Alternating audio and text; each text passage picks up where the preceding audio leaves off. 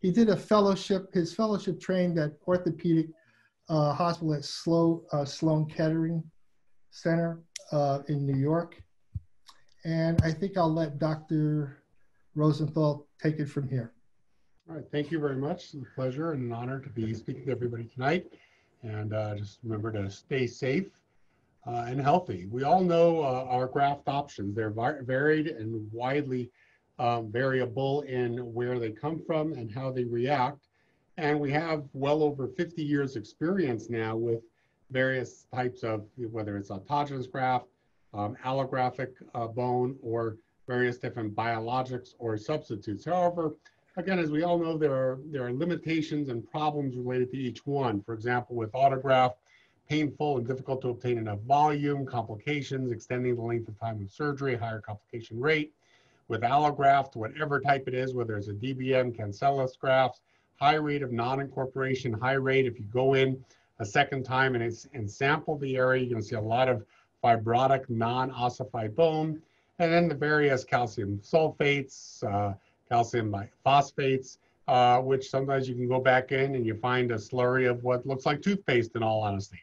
Other problems, especially in the tumor field where I concentrate myself, is things like the use of coral, which does not biodegrade and is there forever. Um, can we see signs of tumor recurrence in that situation? Hopefully we're not gonna have tumor recurrence, but the reality is, is that's why we're following our patients.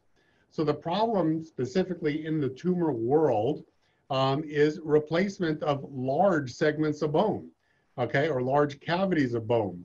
Not just a fracture, but you know, the entire diameter of the bone. By the way, before I continue, it, can you see the slides? Am yes. I? You're seeing what I'm looking, I'm showing. Okay, great. Okay, so we're trying to deal with replacement of these large segments of bone we're trying to do this in a variety of age ranges and without the bone trying to do some, without the um, transplanted bone trying to do something to the host bone, but also looking at the environment of that recipient site. Remember that recipient site is a tumor field. Tumor field is a um, fairly hostile environment. Changes in the pH, changes in the environment of the bone itself stresses across the bone are a bit different. Uh, growth plate issues in the younger patients, for example, very extensive areas of replacement to the shaft of the bone. So the way I look at it is if we can get bone to heal in the hostile environment of a tumor, then how much more so will it heal in a subchondral cyst or a fracture or trauma situation? So some of the challenges also of these tumor defects is a lot of these benign tumors, we require um, additional adjuvants or margin enhancers, argon laser, phenol. I do a lot of cryosurgery, freezing of the bone. Well, that freezing of the bone enhances the margin of, of tumor kill and therefore bony kill up to 15 millimeters. Now I'm trying to fill a defect that had tumor in it, but also trying to get it to heal with dead bone present throughout the periphery. Obviously, the location and size results in a significant structural compromise. The tumor deforms the bone, so we have to concentrate on the ability of that bone to remodel itself once we have eradication of the tumor.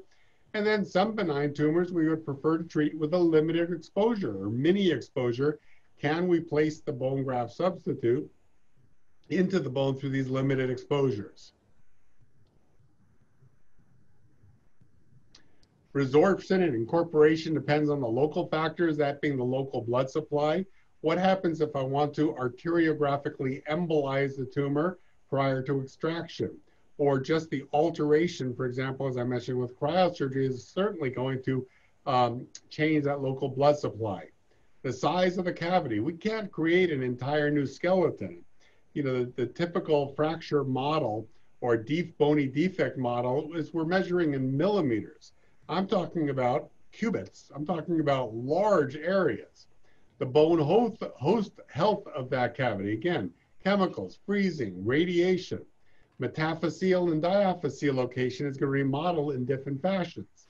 And then, of course, as I mentioned, the age range of the patient and the host themselves. Are they smokers? Uh, do they have other metabolic bone diseases and so forth? Let's look at some case examples. This is a uh, calcaneal unicameral bone cyst. You can see it on the Harris view right here. This is a non-ossifying fibroma treated with nanobone. Uh, this is one week post-op. Three months post-op, what you're seeing around the periphery is that remodeling, that reincorporation of normal bone into the defect. We can see it's slightly denser, so we can see exactly where it was. A nice line of incorporation of that bone, and as time goes on, you actually see remodeling of that bone. Unicameral bone cyst of the proximal femur, very large defect in a stress-enhanced location. Okay, that's certainly at risk for fracture. Uh, so one thing I need to worry about is, is the use of nanobone going to impact or impinge on my ability to perform prophylactic internal fixation? Am I going to get the remodeling capability of that bone through the bone graft substitute? This is the way I will do this intralesional curettage to a small hole in the piriformis fossa, so I'm not weakening the bone any further.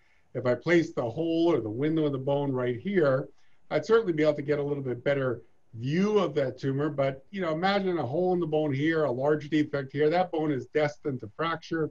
Uh, I'd rather not do that, so I use various size angled curettes, reverse curettes, 90 degree curettes, 45 degree curettes, pituitary rongeurs, until I can be sure that I get that entire lesion and the lining out. And then through that hole, I can also inject the nanobone, which is all right here. You can see a fluffiness to it. And then I'll do my prophylactic internal fixation through that same hole. This is a carbon fiber nail, so I know you can't see it. Um, but that allows me to follow that tumor and that remodeling, searching both for, again, local recurrence, but also for bony healing and most importantly, bony remodeling. The nice thing about that is once we get that bony remodeling, we know that it's the host bone itself replacing the biodegradable um, nanobone. And after that point, we essentially have completely normal bones. So we also now have not burned any bridges for anything else that might be necessary for this bone, for this patient. Should this patient in later years need a hip replacement, you could have a hip replacement just like anybody else. Labral tears, et cetera, everything is exactly the way uh, it would be for any other patient that did not have a bone graft. Let's look at the nanobiology. Nanobone consists of nanocrystals of the hydroxyapatite dispersed in this amorphous silica gel matrix, the ASG. It's this silica gel, actually, that may be the most important component. Uh, the HA nanocrystals have a similar size, chemistry, and morphology to normal HA in bone, which is essential for bony healing, remodeling, and incorporation. They're not bound to one another, and the autologous proteins can absorb rapidly to the surface. That large surface area, um, as Steve mentioned, can be the size of a tennis court huge amount of surface areas. When we're dealing with bony healing, as we all know, the more surface area to allow for contact of the bone graft or bony healing to occur, the larger the percentage of bony healing that will, will occur. That silica matrix that holds the HA nanocrystals in place is porous with an extremely large internal surface area that attracts those autologous proteins, also due to the uh, silica in it um, and it's hydrophilic, releasing the silicon, silicon dioxide, which triggers new angiogenesis and new bone formation. So we're not left with this putty of calcium sulfate, for example, that has no regenerative processes, no osteoinductive processes. We're actually getting new chemicals, new BMPs, and new nutrition to the actual area of bone grafting through this uh, silica gel and the angiogenesis and new bone formation. Here's an interesting example of an osteoid osteoma in the anterior, dis anterior distal femur. Very small lesion, hard to see on a plain film, but there it is, hard to find. But once we find it, um, I'd like to bone graft it. And the reality is, is uh, here's the bone grafted area. It looks like um, it's incorporated completely. The hole that I created to extract this is larger than the original tumor, meaning that I did get it all out completely with good clear margins think about this if I used a, a uh, cement um, or some coral type of product that would not remodel or resorb or is not biodegradable, this young patient, because osteosteomas occur in the younger age range, has this piece of inorganic material in a subchondral location for the rest of their lives. Think about it in terms of burning bridges, as I mentioned. Um, can you do a regular total hip, total knee replacement? Sure, you could, but you got to add some bone graft when you take that cement out. So this gives a biological response to this. Next question is, is boy, for a small lesion like that, can I do this more through a mini approach or a, um, a, a very small incision, uh, directing that bone graft exactly where we are, and I'll talk about that in a little bit. The lateral, again, you can see the area of where that bone graft is. It's slightly more dense, but um, it looks like bone. As time goes on, you can actually see revascularization. This isn't the live picture. This is on a slideshow, obviously, so I can't zoom in on it. But if I was to, were to zoom in on this, you would actually see retrabecularization of the bone, indicating that remodeling of the host bone replacing the nanobone. Here is a giant cell tumor of the proximal phalanx. Big hole in the bone. There's already a fracture through it, and if there weren't, this is still an impending fracture.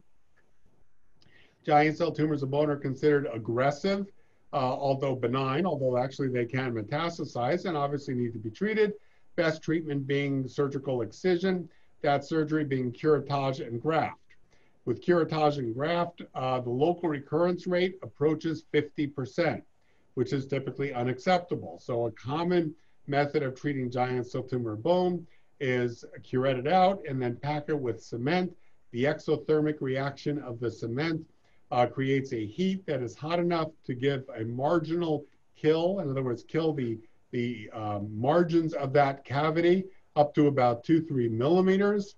Um, so now we've got, that's one millimeter. So now we've got two, three millimeters of kill. In other words, dead bone from here to here, trying to get that dead bone to heal to an inorganic prog- uh, uh, product.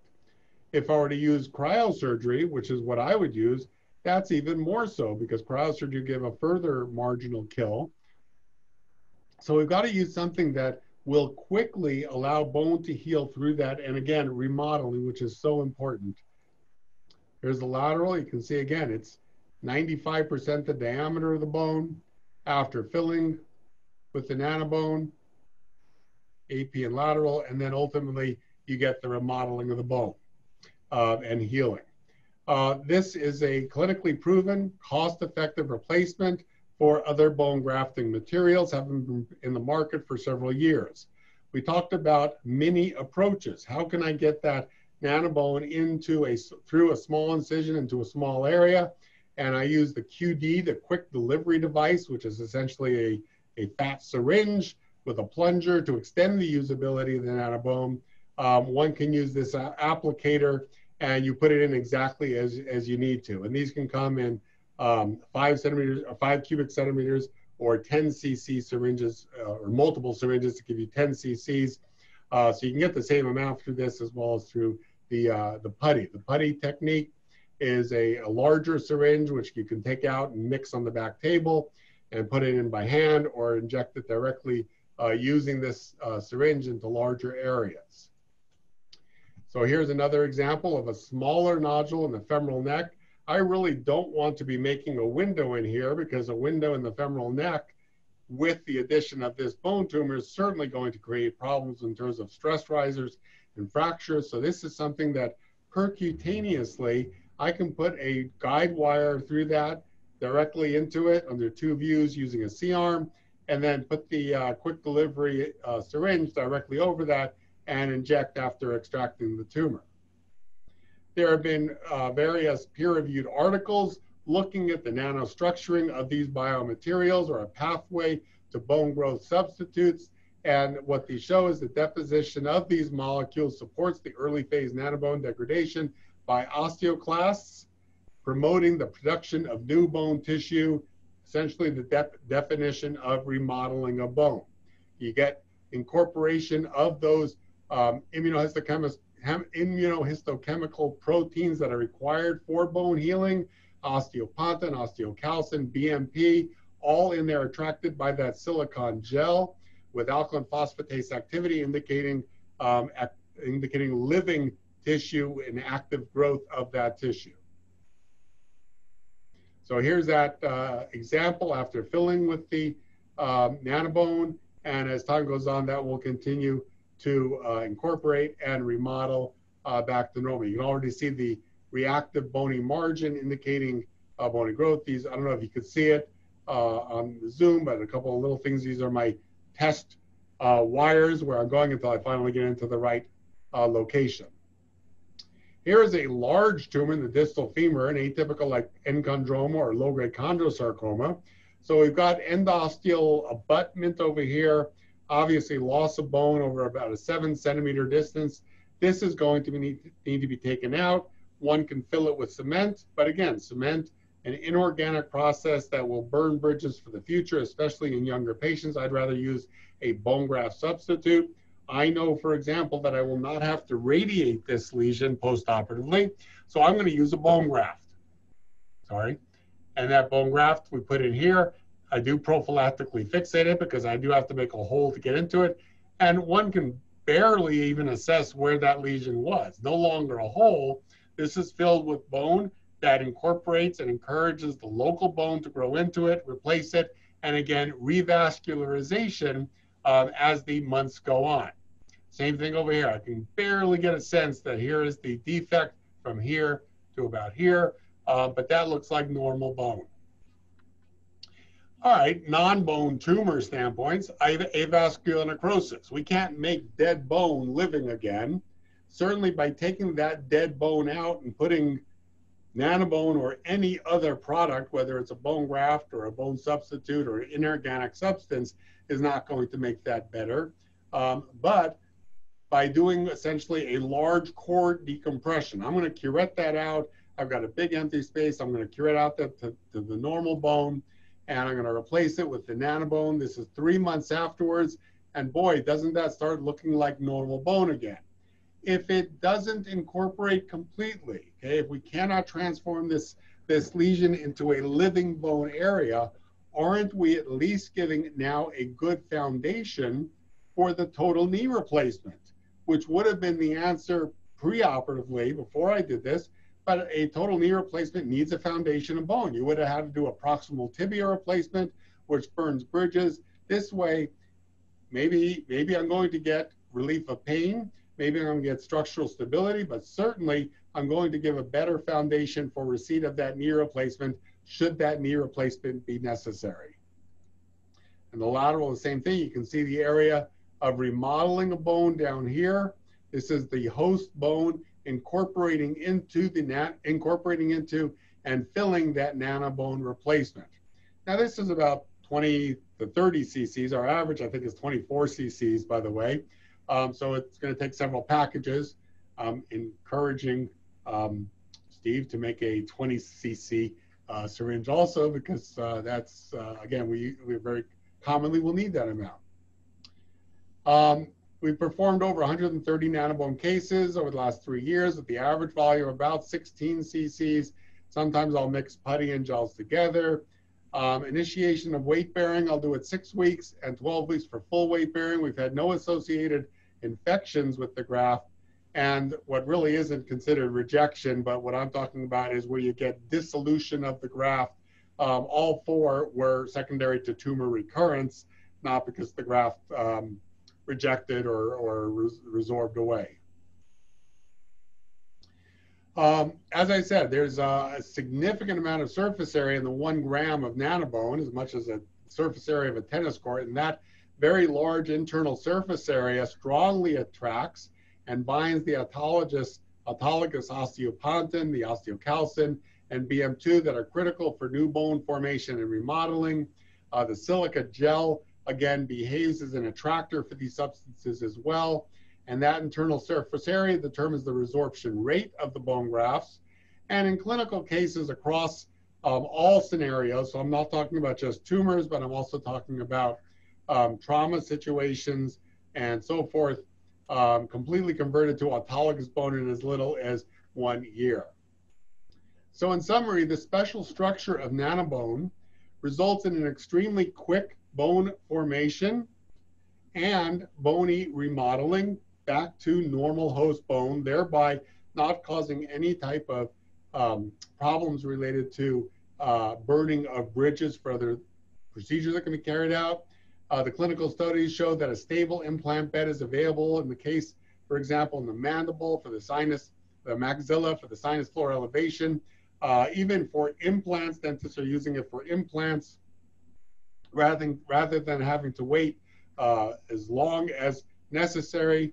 Um, and this is how the use of the nanobone can considerably re reduce those treatment time periods as well. You get three months, you get 37% of it is bone, new bone formation, 43% of the bone marrow, bone marrow space, um, and look at the resorption of that bone, of the nanobone as time goes on. That resorption rate is replacement with normal host bone.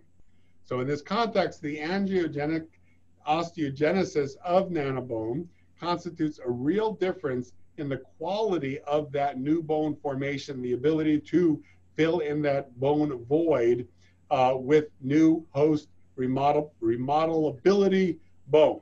We get the bone filling and incorporation, bone remodeling, and recognition of that bone better as itself. Any questions? Thanks. I guess we'll open it up to questions. We do have a couple of questions uh, from an attendee, and it says, uh, because of faster remodeling with Nanobone, do you find you are getting patients weight bearing sooner, especially in younger patients? So for me, that's a very good question. I think the answer, in all honesty, is yes, because it's such an active process that goes on fairly quickly. Um, allowing them to weight bear a little earlier does allow and induce that remodeling to occur. But in all honesty, on the other hand, when I'm dealing with a 24 cubic centimeter defect, um, very commonly I am going to prophylactically internal fixate it. So I may be relying on that to allow the patient to weight bear. I do, I, I, when I see the patient back with x-rays, it's at six weeks and 12 weeks, and you can absolutely see the retra retrabecularization of the bone, um, indicating that I could proceed with weight-bearing status uh, somewhere between the six and 12 week period of time.